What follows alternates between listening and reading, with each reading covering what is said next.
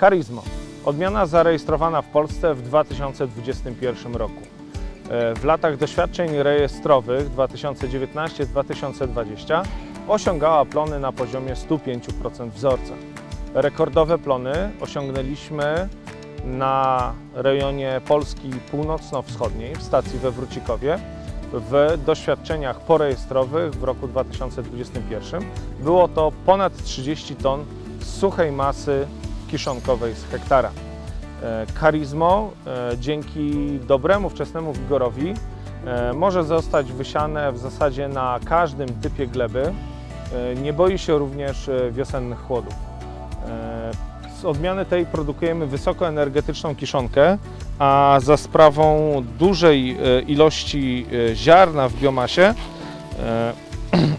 mamy nie tylko wysoką wydajność mleczną krów, jak również e, samo ziarno możemy przeznaczyć do zakiszania, gdzie zalecamy to robić e, w rejonach o mniej korzystnych warunkach e, temperaturowych.